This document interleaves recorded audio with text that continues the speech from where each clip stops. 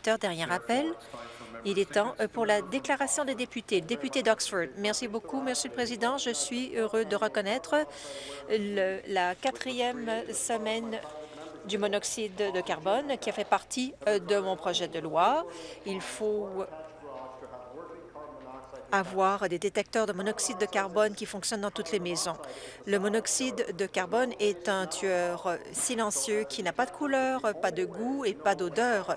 Le détecteur est la seule façon de savoir que vous avez du monoxyde de carbone. Merci à John Jinnick, merci pour sa fondation et Mme Hawkins. John nous a été indispensable pour sensibiliser la population à propos du monoxyde de carbone. Ils ont travaillé avec John et il y a eu des dons généreux dans toute l'Ontario. Souvent, j'entends parler des familles, à quel point ce projet de loi est important. De nombreuses vies ont été épargnées grâce à ce projet de loi. Des pompiers m'ont parlé de deux familles, dont une famille de six qui ont été sauvées grâce au détecteur de monoxyde de carbone. J'aimerais féliciter le travail de tous nos services des pompiers qui travaillent très fort afin de transmettre ce message important, tel que le service d'incendie à Brampton, euh, qui va sensibiliser les gens dans les quincailleries lorsque nous sensibilisons les gens à propos du danger du monoxyde de carbone et l'importance d'avoir euh, des détecteurs qui fonctionnent, veuillez vérifier vos détecteurs et assurez-vous euh, qu'il y ait que vous faites le maintien euh, de vos appareils. D'autres déclarations des députés, député de Windsor-Tecumseh.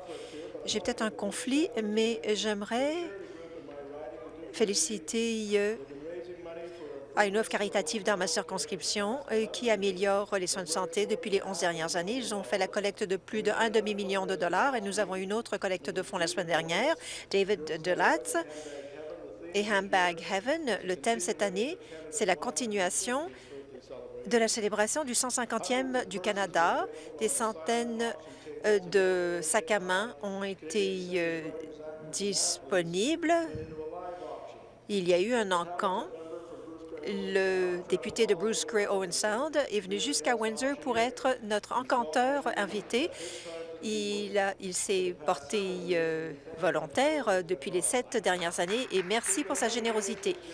L'argent va payer euh, une salle d'accueil de patients à l'hôpital de Windsor régional. Nous allons financer une nouvelle salle d'accueil pour le campus pour la maternité du campus nous allons acheter euh, cinq couchettes pour les papas dans la maternité. Cet événement attire euh, des milliers de femmes et quelques bons hommes et nous nous amusons, amusons tous. Alors merci à Gail, Lindsay, Vicky et euh, toutes ces personnes pour tout votre travail accompli afin d'améliorer notre collectivité. Merci. D'autres déclarations des députés? Député d'Ottawa-Vanier. de célébrer aujourd'hui le centenaire du musée Bytown qui se trouve sur le bord des écluses du canal Rideau. Join me in celebrating the 100th anniversary. Veuillez vous joindre à moi euh, pour célébrer le centième anniversaire du musée de Bytown. Le 25 octobre 2017, pendant la Première Guerre mondiale, la Société des femmes, un groupe de femmes, a fondé ce musée Bytown. Euh, ce fut un exploit incroyable pendant la Première Guerre mondiale. Le musée a comme mission d'explorer et partager l'historique riche d'Ottawa ainsi que sa population. Le musée explore Bytown comme c'était le nom d'Ottawa à l'époque, du présent au passé, et nous célébrons les territoires algonquins sur lesquels a été construit Ottawa. L'ancien président est là, il y a des photographies. Et il y a également un conseil de jeunes composé de 15 membres de 16 ans à 23 ans euh, qui font partie euh, qui font partie euh, des programmes scolaires des huit meilleurs programmes scolaires. On a numérisé plus de 3 400 artefacts et nous sommes dans le nouveau siècle grâce à cela. Alors, merci à Robin Ettlington et toute son équipe, les directeurs, la gestion, le personnel, ainsi que tous les bénévoles et les donateurs au musée. Nous allons avoir un nouveau siècle absolument formidable. D'autres déclarations des députés, députés de Middlesex London, j'aimerais reconnaître le début du mois de novembre. La Fondation Movember travaille fort pour empêcher les hommes de mourir trop jeunes. Chaque novembre, les hommes autour du monde se font pousser la moustache pour le mois de Movember. En plus, des hommes et des femmes peuvent participer en un événement qui s'appelle Move, où il y a un objectif à accomplir chaque jour, c'est-à-dire soit en faisant de l'aviron, en marchant, en nageant, pour avoir un style de vie plus sain. Grâce à ces campagnes personnelles, les hommes et bien sûr les femmes euh, peuvent faire une collecte de fonds et sensibiliser la santé des hommes. On travaille sur le cancer de la prostate et testiculaire, la santé des hommes et la prévention du suicide. Le cancer de la prostate, Monsieur le Président, il est important de le mentionner, touche un homme sur sept c'est le cancer le plus commun chez les hommes au Canada. Une détection précoce est tout à fait clé. Si vous avez plus de 50 ans, il est temps d'avoir cette discussion avec votre médecin à propos de votre prostate. Grâce à l'éducation et la recherche, nous pouvons changer la façon de cibler les recherches aux hommes pour améliorer leur santé. La Fondation Movember a collaboré avec 20 euh, collaborateurs dans 20 pays et a financé 20 projets. Merci à ce projet pour leur travail important et je m'engage à faire pousser ma moustache pour tout le mois de novembre. Merci beaucoup. Donc, euh, vous faites partie du caucus de la moustache. C'est formidable. D'autres déclarations. Député de Hamilton East, Stony Creek. Cette, année, il y a eu un article surprenant euh, dans notre journal. Euh, euh, au sujet de notre société d'aide à l'enfance. Nous avons besoin de familles d'accueil pour 530 enfants. Le système de familles d'accueil à Hamilton a besoin de mise à jour. Il y a des personnes généreuses et leurs efforts doivent être félicités, mais le système n'est pas parfait. La semaine dernière, j'ai rencontré le groupe de bien-être des enfants qui est composé d'anciens enfants qui étaient en, foyer d'accueil. La majorité d'entre eux euh, qui sortent de ces foyers d'accueil euh, sont désavantagés, font face au système euh, de justice criminelle et ont une mauvaise santé. Quel est le problème? Le système de foyers d'accueil n'a pas les ressources pour garantir que ces jeunes commencent sur le bon pied. Il y a eu des problèmes de sous-financement et de surpeuplement. Les libéraux n'ont pas offert les fonds nécessaires à la loi pour s'assurer que les foyers d'accueil puissent offrir ce qu'il y a à offrir aux jeunes. Les libéraux euh, ne répondent pas à nos questions. Je suis d'accord avec le directeur de l'école de Ryerson, qui, Ross Garbag, en réaction à notre annonce, il a répondu « Le gouvernement veut que tous les jeunes et les enfants soient en sécurité d'ici 2025 ce qui signifie que le gouvernement sait que les enfants ne sont pas en sécurité et prêt à attendre huit ans. Le gouvernement doit s'engager à d'autres fonds. L'avenir de ces enfants est est à risque. Merci. D'autres déclarations? Le député de Mississauga-Erindale. Merci, Monsieur le Président. J'ai le privilège de parler aujourd'hui à propos de l'épilepsie. Et il y a des nouveaux bureaux à Mississauga, ainsi que le Centre des jeunes Caroline Cunningham. Ce centre de jeunes qui a été fondé grâce aux dons généreux de la famille Cunningham et de la Fondation Care Alive. Ce centre a été nommé après Caroline Cunningham, qui a consacré sa vie à améliorer la vie des gens qui vivent avec l'épilepsie. Après son décès en 2007, à cause, suite à l'épilepsie, sa famille et ses amis ont créé cette fondation à son nom. Nous voulons sensibiliser la population au sujet de l'épilepsie. Il y a des bourses du programme Trinium au montant de 290 000 au cours de deux ans pour aider, aider ce programme. L'épilepsie touche 280 jeunes. Il y a des camps d'été pour ces jeunes et ces jeunes comprennent qu'ils ne sont pas seuls.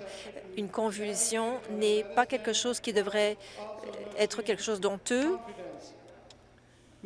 Monsieur le Président, j'aimerais remercier ESCO et la famille Cunningham euh, d'avoir mis sur pied cette, cette recherche et le Centre des jeunes. L'héritage de Caroline se poursuit Ici, dans la tribune, nous avons la famille Cunningham, ainsi que des représentants de ESCO. Alors, merci à toutes ces personnes pour leur travail. Merci, Monsieur le Président. D'autres déclarations des députés. Député de Nipissing, merci. Bon après-midi. Bon Monsieur le Président. Je suis fier de prendre la parole euh, alors que l'Association des mineurs de, l'Ontario se joint à nous. J'aimerais reconnaître les industries minières Cementation, euh, qui a été reconnu récemment comme étant l'employeur le plus sécuritaire en 2017. Le prix de l'employeur le plus sécuritaire a été lancé en 2011 pour couvrir 10 catégories euh, de, des services d'accueil aux mines, aux ressources naturelles, Cementation et une compagnie d'ingénierie à North Bay. Ils ont obtenu le prix d'or dans la catégorie des ressources naturelles dans le gala des prix euh, des euh, employeurs les plus sécuritaires. La semaine dernière, ici à Toronto, ils ont été reconnus euh, pour leur stratégie quinquennale qui a été lancée plus tôt cette année et doit améliorer les 700 entreprises, le système de responsabilité intérieure et diminuer les blessures. Vendredi dernier, nous avons eu le grand plaisir de couper le ruban de l'élargissement dans la ville de North Bay. J'aimerais féliciter personnellement le président Royal Slack et le gestionnaire de la santé et sécurité, santé sécurité Rick, ainsi que tous les employés de Cementation qui contribuent à ce que Steve dit la culture de sécurité à Cementation. Député d'Ottawa-Sud, merci beaucoup, Monsieur le Président.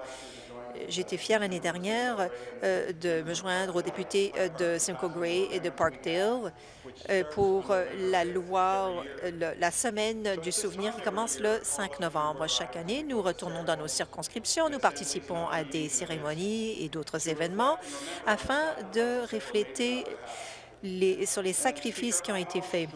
Je suis toujours stupéfait lorsque j'entends les, histoires cette semaine-là.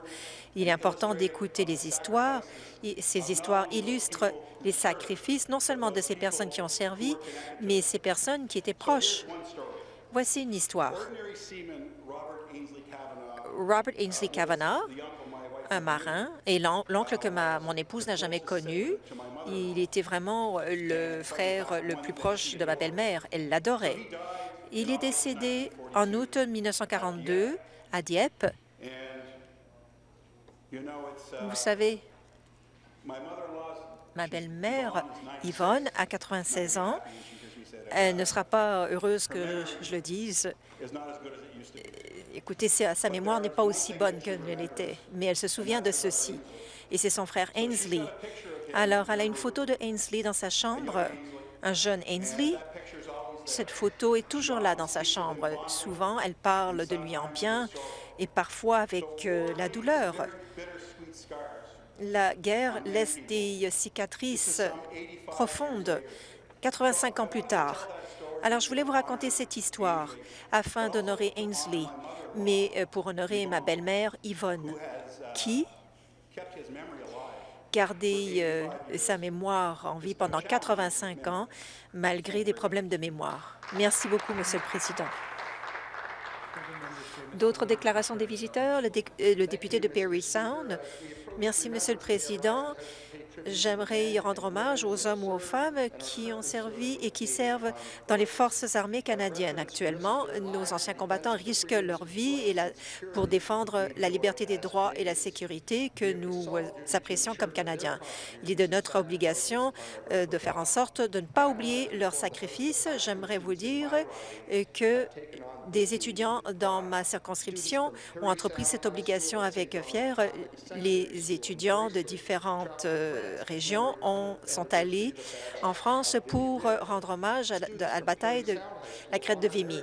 Des étudiants ont lancé le projet de souvenir de la communauté et qui a créé 59 bannières honorant 180 soldats.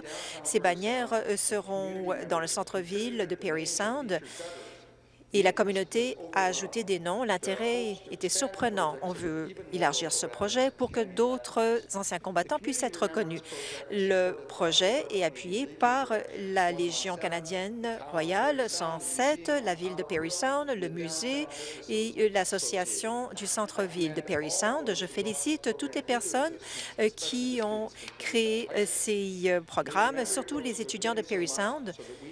Nous pouvons être ici en paix et en sécurité et ne l'oublions jamais.